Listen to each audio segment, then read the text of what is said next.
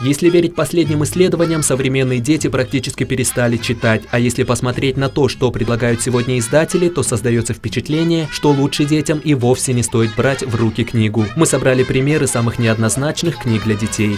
Социальная драма для детей «Папа пьет, потому что ты плачешь» написана группа американских психиатров как доходчивое объяснение алкоголизма в семье. В русском рассказе на ту же тему все куда более метафорично. Жила-была мама, жуткая пьяница. Печальная правда с хэппи-эндом. История Сергея Седова о том, что делать, если оба родители – алкоголики. Следующая книга – творение Савелия Ризовского «Как царь ушел в девочки». Рассказывает детям о том, как легко и просто глава государства может сложить полномочия и уйти в девочки.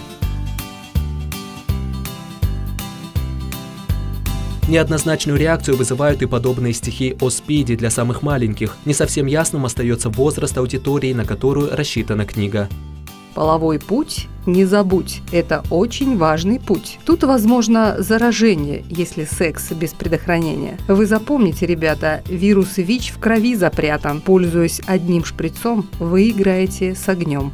Еще одна странная книга для детей – сказка про крота, который хотел узнать, кто ему накакал на голову Вернера Хольцбраса. Иллюстрации к этой печальной истории, по мнению автора, помогут детям разбираться в животных фекалиях, а главная мысль сказки состоит в том, что мстить надо тем же.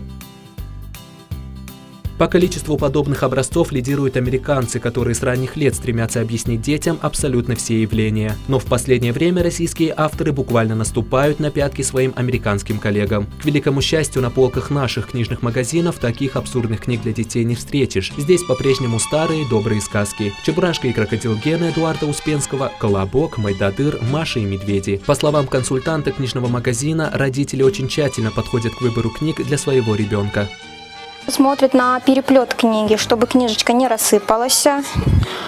Также смотрит на страницы. Они должны быть белые, не серые, потому что от серого будет зрение портиться у ребенка. Также смотрит шрифт книжечки, четкость, чтобы не расплывчатые буковки были.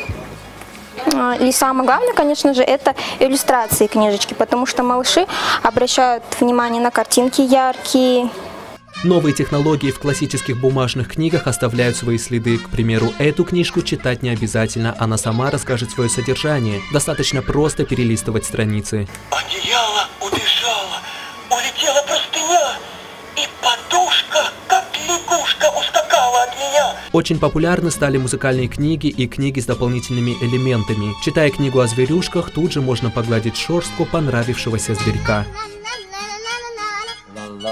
la la la la la la la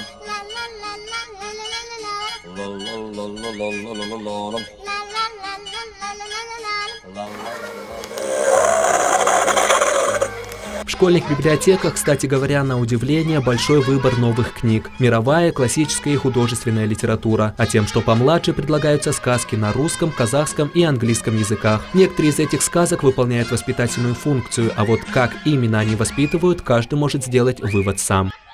Мама побила детей, потому что они наврали маме, а маме нельзя врать.